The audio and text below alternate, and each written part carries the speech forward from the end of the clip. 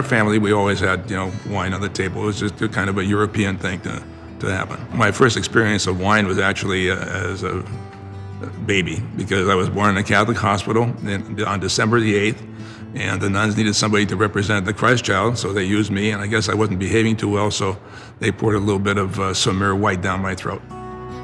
Uh, my name is Alex Golitzin. My name is Jeanette Golitzin, and we're at Quilceda Creek Vintners. I was born in 1939 in France. I was born actually in Saumur in the Loire Valley. And uh, once the Germans occupied France, then we went back to Paris, and I spent the entire war in, in Paris itself. And we came over to the United States in 1946. Our sponsor was my uncle Andrei Tchelistcheff, who was you know a very famous winemaker down in uh, California. He worked for BV for many many years. He'd gotten there in 1936 because he was hired by Georges Latour when he was in France. Uh, Georges Latour needed a winemaker, especially right after Prohibition, and so Andre came over then.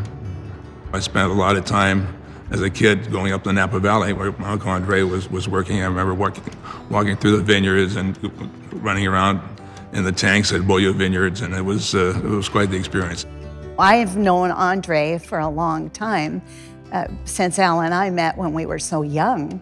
I used to go to the vineyards with them, and we'd have big barbecues over at Uncle Andre's house. And I met Alex uh, when we were both in high school. We were a blind date, and I was almost 16 and he was 17. And we've been married 54 years, so it worked. Jeanette and I were married in 1963, and uh, in 1967 we moved up to Washington.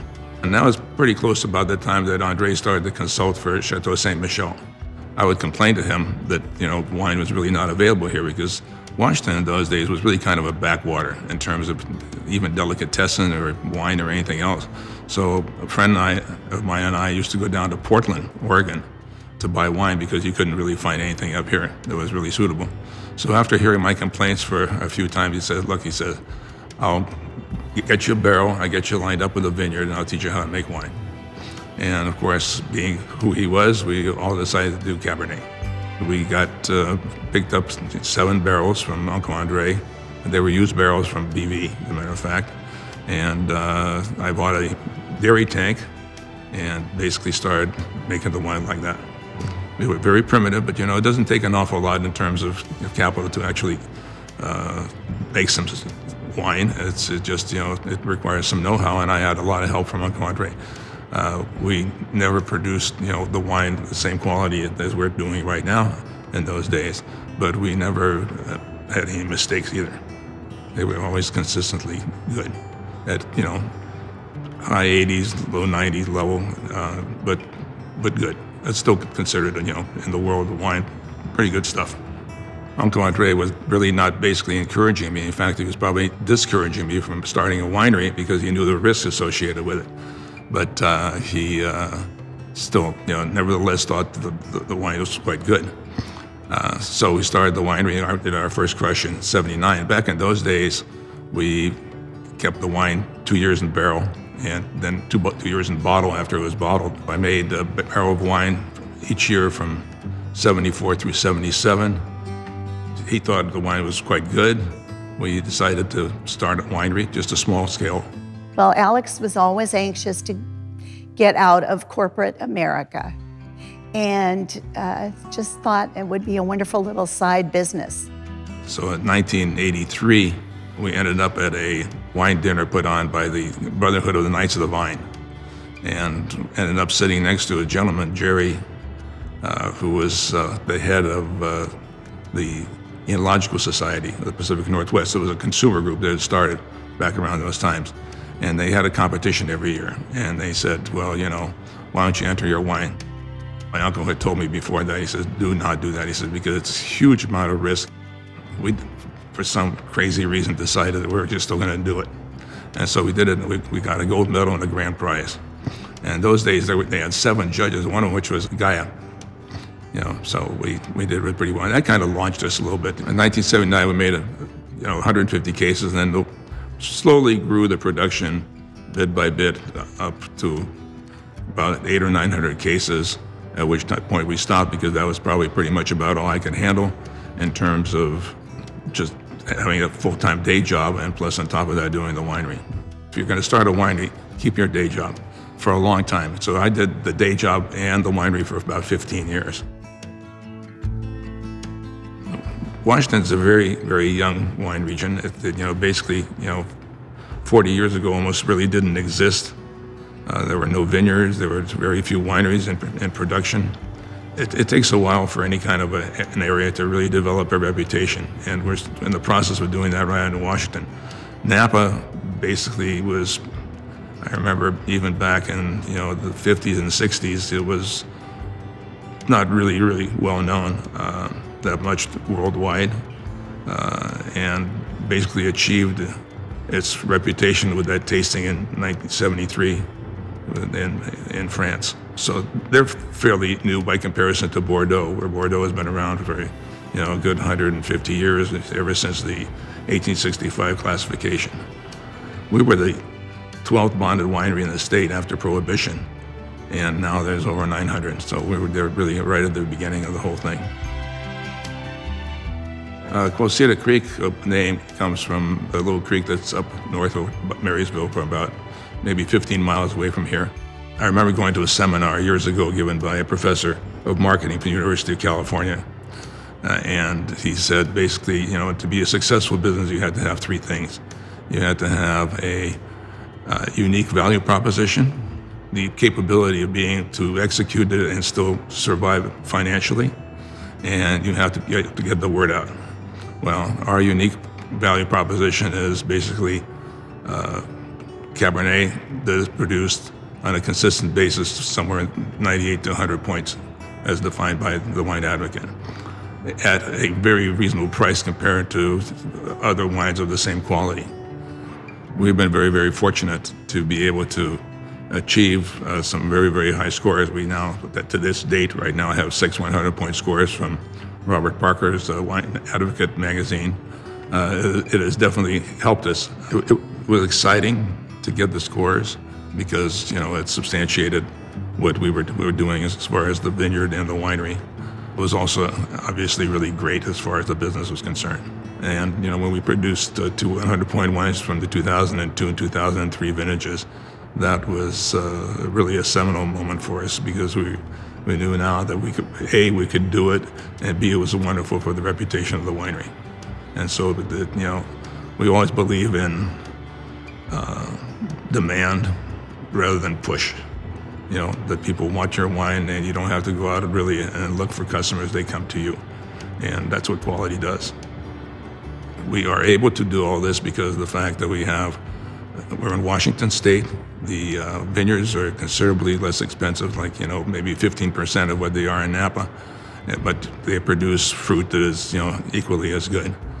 Uh, so our, our, costs are very very good, and once you get the quality, then getting the word out really basically was a function of the publications in the wine industry.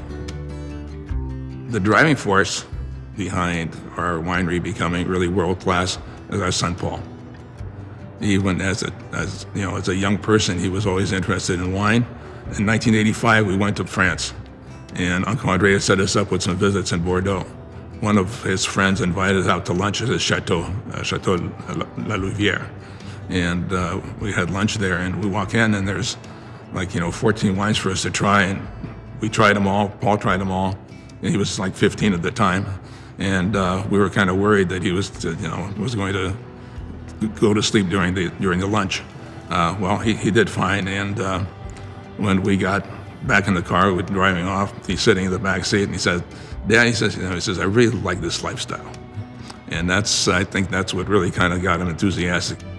He came to work for the winery full time in 1992, and he had already had you know several years of experience just when the winery was small. Uh, and I retired in 1994 from Scott Paper. And so we were able to, to work on this together. We, you know, we put, got ourselves uh, more space by building a, a building.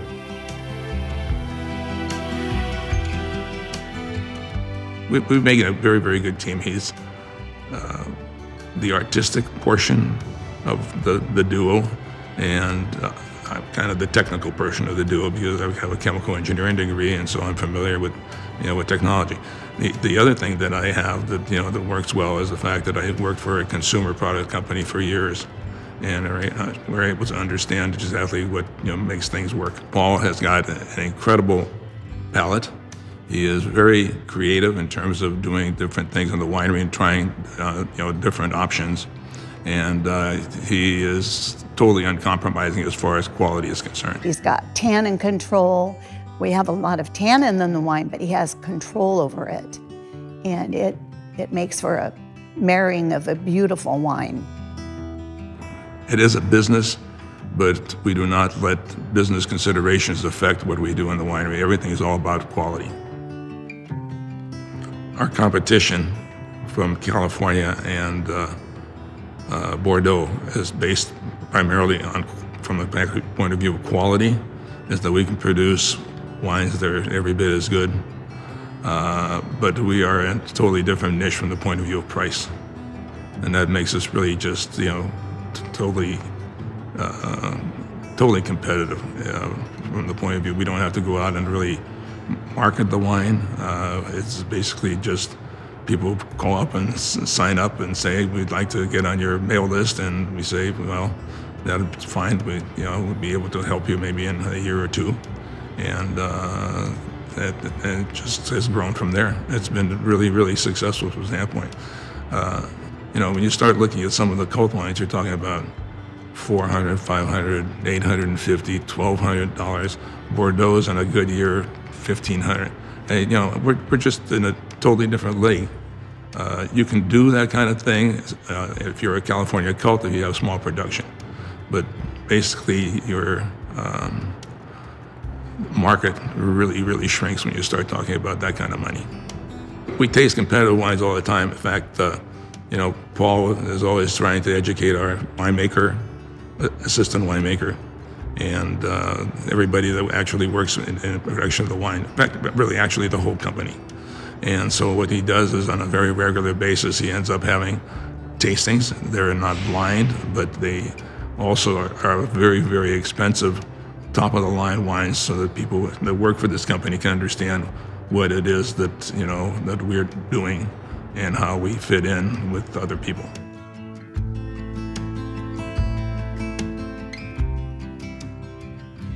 We produce only Cabernet Sauvignon. We produce actually four wines. Uh, our flagship wine is the Columbia Valley Cabernet, which is primarily from the Horse Heaven Hills AVA, as far as vineyards are concerned. Uh, we produce a smaller amount uh, of Cabernet from our property in Red Mountain. And uh, then we make a Bordeaux blend called Palengat, which is named after my wife's maiden name. And then uh, we produce a wine every year of whatever did not fit into those other three categories, and we, it's, it's called our red table wine. And it also does very, very well. But of course, we're not able to produce the really, really high scoring wines without being able to declassify some of the wine into a, you know, the, red table wine vintage. That was one of the, the main things I think that Uncle Andre recommended. He says, if you're going to make wine, says make one wine, one varietal. Because otherwise it gets to be psychologically and intellectually confusing. If you're making 10 to 12 different wines at the same time, it, you know, it's, it's hard enough when you produce one wine because on any given vintage, we got, you know, probably 20, 25 different blocks of Cabernet and a little bit of Merlot, a little bit of Cabernet Franc. And so there's basically separate wines until you blend it all together. And uh, if you're trying to do that with you know, multiple varietals, it's, just an impossible task to really do it well. We're totally focused strictly always on Cabernet, and we'll always do that. Um, the wines we make, you know, uh, two of them, the Palengat and the uh, Red Table Wine, which are declassified wine, they are uh, Bordeaux blends. We have found that, you know, with the right clonal selection, the right vineyard, and uh, the kind of quality that you can get from, from these places, uh, that Cabernet Sauvignon 100% wine is really the best, uh, and it's it's pretty consistent. If you take a look at you know Bordeaux, Bordeaux uses a lot of Merlot because they can't get the Cabernet right, and so they have to blend it out. But if you get Cabernet ripe on a consistent basis, it's, it stands alone, and it's it's just it, it can be texturally wonderful and wonderful as far as flavor and aroma, and it just has everything necessary to, to be a 100% varietal wine. Our flagship Columbia Valley Cabernet Sauvignon sells for $140 a bottle. Uh, Galitzin sold for 120, I believe. The Palengat, I think, 95, and the Red Table wine usually around 40. And so we have, you know, a good spectrum of, you know, different offerings for different people.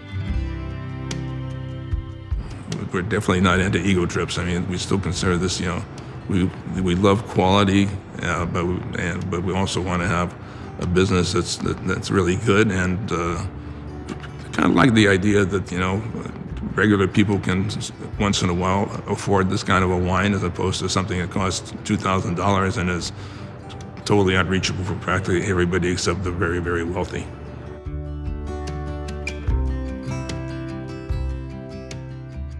We started off getting grapes from a place in Grandview called Otis Vineyard. Uh, that was our first 1979. That was the one where we got the grand prize. Uh, then they couldn't produce any more grapes from us, so then we started to get grapes from Kiona uh, and uh, Ciel de Cheval. And by 1986, we were kind of basically because there weren't that many vineyards. You know, there's a lot of demand from different wineries, so you can only you know get so much per vineyard.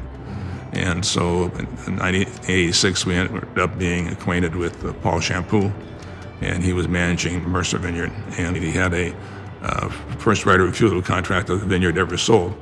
And so he put together a group of us, and we bought uh, a Champoux Vineyard. And we started off with, you know, about, if I remember correctly, about 9% from Quilceda, and now we own two thirds of it. That's about a 180 acre vineyard, so we got about 120 acres. And then 2001 and 2, we planted 17 acres on Red Mountain. And uh, then we got purchased about five acres right across the street from Champoux on a south-facing slope called Palengat. And uh, that's where we are as far as estate vineyards are concerned right now. We purchased some wine, some grapes also from Lake Wallula Vineyard and from uh, Wallula.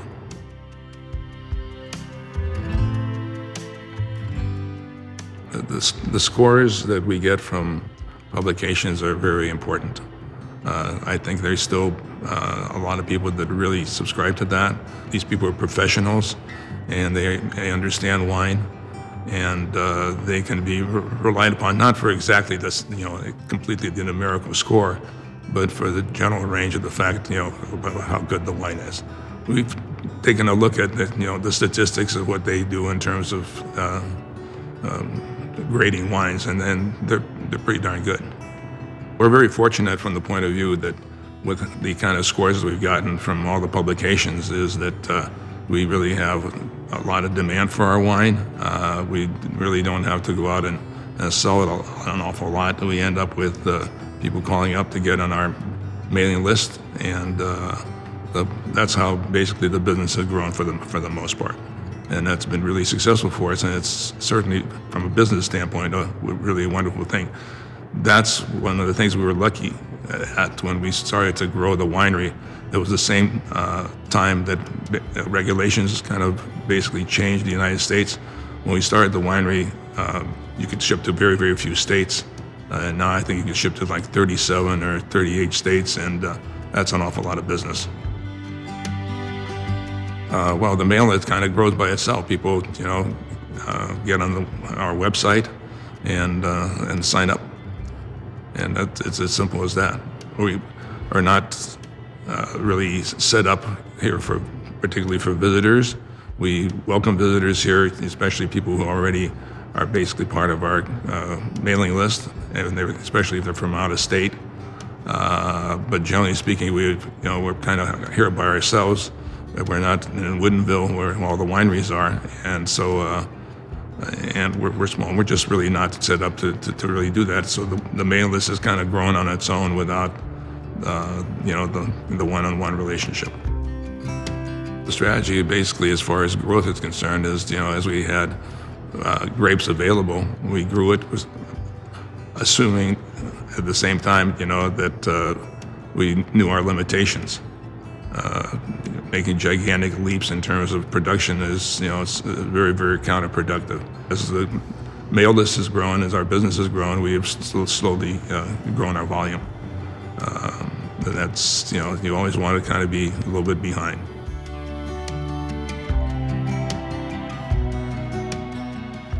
Our winery is in uh, Western Washington. There's a lot of wineries in Western Washington that basically get their fruit from Eastern Washington. It's uh, a little inconvenient, but not really hugely. Uh, what you have to do is you have to make a, a 500 mile trip about at least once a week to see what's going on over there, and then uh, pick the grapes at the right time, and they get put in a truck and hauled over here, and you, you make the wine over here. So it's it, there is some inconvenience to it, but it's it's totally doable. What's what's missing, I think, uh, from that kind of a program is that you really don't have the the beauty of the vineyard surrounding you. But you know, you have to compromise sometimes in life. Our company ends up playing a lot of defense. Uh, for instance, because of climate change and the possibility of heat waves in our vineyards, we put in some spray systems at low volume, so we're not overwatering the grapes, but it will allow us to be able to knock six, seven degrees of temperature off of the vineyard in, case there's a huge heat spike, which has already happened in 2015 and is, is coming probably more and more as time goes on.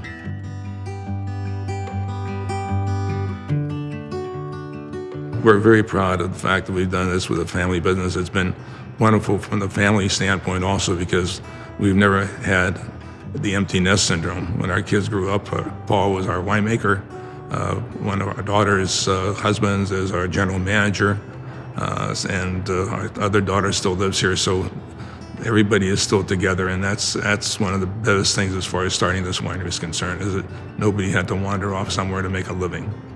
The girls have been super too. We have two daughters that uh, help out, and they do a lot of the um, tours and release parties and whatnot. They love doing that. So there's something for everyone to do in our little group. Working with family is not a challenge at all. It's, uh, uh, it's, it's very good. We have a lot of respect for each other, and we are totally on the same page.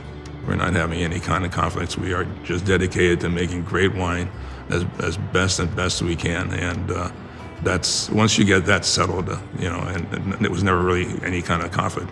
That was just the, what we wanted to do, and uh, once you have that kind of an attitude, everything flows from that. Well, I remember reading about a Italian winery where the founder was like 90 years old.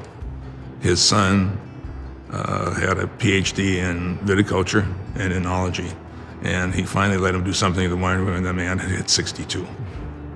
So that that is that is not the way you want to do it. Paul right now, however, has developed into being very technically astute. He's, he's very very good at it, and he makes gigantic use of laboratories to make sure that uh, everything is uh, you know done correctly and turning out correctly.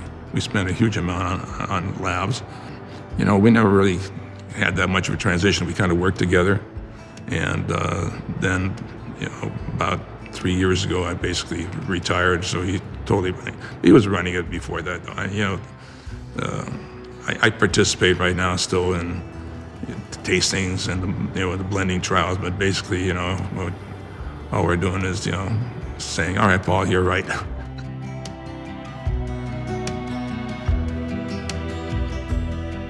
it, it is it's wonderful to have a business like this, and you know, and you dream of the fact that it would be carried on for generations and generations.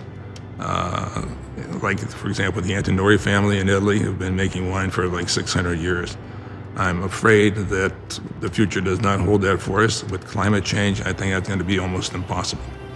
Uh, there's a huge amount of danger associated with the climate change uh, in eastern Washington for particularly heat waves, which would come to the point where they are bad enough that they would not only damage the fruit for a year, but start killing the vines.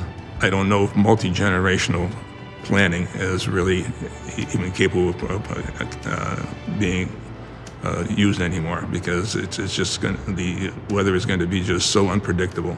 You can try and do whatever you can, which is what we have done to mitigate this, but it's you know you only have so much capability of adaptation, and you have to just either go somewhere else or stop.